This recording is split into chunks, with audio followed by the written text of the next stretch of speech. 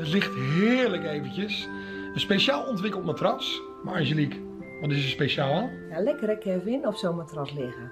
Nou, het speciaal aan deze matras is dat hij heeft een, eh, een temperatuurverdeling heeft hij erop zitten. Dat is een natuurlijke vochtafvoer en hij is ook nog eens anti-allergisch. Daarnaast is het op deze matras ook zo dat hij een drukpuntverdelende functie heeft. Dus dat kan zorgen voor een optimaal slaapgenot voor ieder. Oké, nou is dit matras nou ook goed voor mensen met lichamelijke klachten?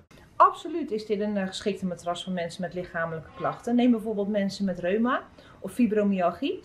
Uh, doordat deze matras die heeft een, een, een goede vochtafvoer, waardoor de matras droog blijft. Uh, deze matras creëert ook een constante, constante temperatuur. En dat is gewoon een uitkomst voor deze mensen.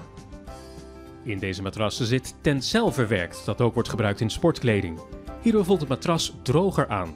De samenstelling van het materiaal zorgt er dus voor dat het matras steviger in elkaar zit en geschikt is voor elk gewicht.